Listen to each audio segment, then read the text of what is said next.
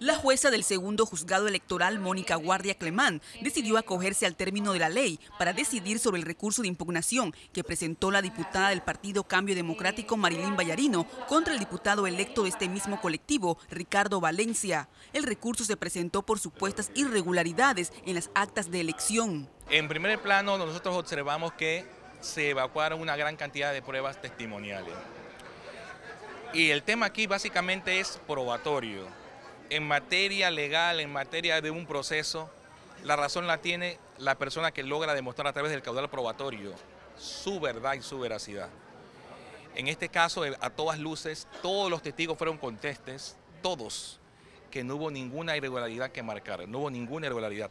Se incrementaron eh, votos a favor del proclamado Valencia y se restaban votos a la diputada Marilín Vallarino. O sea que se perpetuó un fraude. La audiencia que inició puntual a las 10 de la mañana se desarrolló en tres fases, donde los testigos principales de este proceso fueron los miembros de la Junta de Escrutinio y los observadores de los diferentes partidos políticos que participaron en la elección general del 5 de mayo. La mayoría de los testimonios coincidieron en que no detectaron ninguna irregularidad.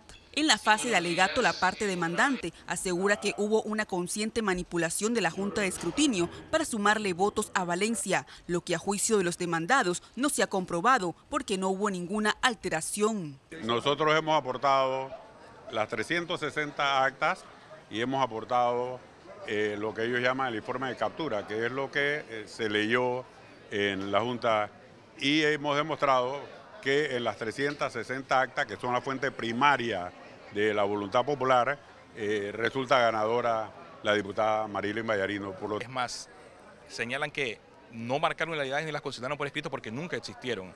Entonces fue un proceso transparente. Ya lo demás solamente es apreciación subjetiva de la parte que creó esta demanda. Luego de escuchar la fase de alegatos, la Fiscalía Electoral pidió a la jueza desestimar la impugnación por nulidad. Ahora le corresponderá a ambas partes esperar la decisión que dicte la jueza. Con cámara de Gerardo Golis, Yarelis Ureña Navarro, Next Noticias.